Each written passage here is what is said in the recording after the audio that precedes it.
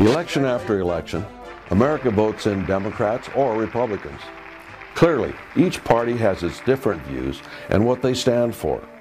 Democrats are known for their liberal views, while Republicans are known for their conservative views.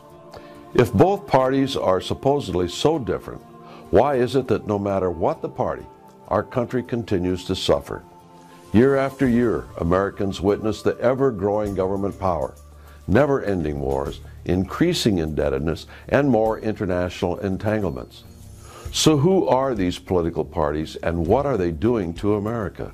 Today, we not only have liberals and conservatives, but those who can be labeled as neoconservatives or neocons. Neocons are liberals who defected from the Democratic Party and set up shop in the Republican Party. When looking at the Republican Party, many can separate the true conservative from a neocon by watching how they vote, particularly on topics like the Patriot Act, the Federal Reserve, welfare, immigration, foreign policy, and much more. Neoconservatives will be easier to recognize when you have a better understanding of who they are, what their motivation is, and some of the history behind this movement. Irving Kristol, the man who happily accepted the title of Godfather of Neoconservatism, wrote Neoconservatism, the autobiography of an idea. A New York City native, he stated in his book, We accepted the New Deal in principle and had little affection for the kind of isolationism that then permeated American conservatism it was recognized that both parties had the potential to change. In 1966, Georgetown University professor Carroll Quigley authored a 1,300 page book entitled Tragedy and Hope A History of the World in Our Time. Quigley claimed that it was a foolish idea to want Republicans and Democrats to offer different ideas and policies. Instead, he wrote, the two parties should be almost identical so that the American people can throw the rascals out at any election without leading to any profound or extensive shifts in policy. Irving Kristol and other like-minded politicians agreed with Quigley.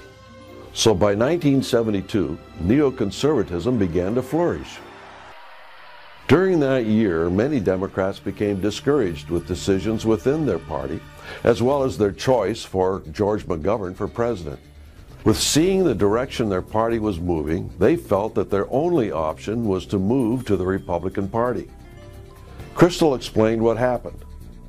In 1972, the nomination of George McGovern, an isolationist and a candidate of the New Left, signified that the Democratic Party was not hospitable to any degree of neoconservatism. Only a few of us drew the obvious conclusion that we would have to try and find a home in the Republican Party which had always been an alien entity so far as we were concerned. But with every passing year, our numbers grew. They didn't change what they stood for when they moved into the Republican Party. They began to change the Republican Party. Individuals with a neocon perspective have often been said to be supporters of Leon Trotsky. A good example of this was Irving Kristol. He stated, I regard myself lucky to have been a young Trotskyite, and I have not one single bitter memory. Neoconservatives not only utilize national emergencies, they support international treaties and organizations such as the United Nations, the European Union, NAFTA, even NATO, all to their benefit. International entanglements such as these create economic and political integration with other countries all detrimental to American independence and liberty. Neoconservatism has lured many Republicans to support enormous financial bailouts that went to foreign as well as domestic banking interests. It has persuaded many in the GOP to back the long list of federal regulations that are making it impossible for American companies to compete. And the neoconservative persuasion has convinced many to seek seemingly endless wars. Neoconservatism, also known as Bush Republicanism, is dead and gone, God willing.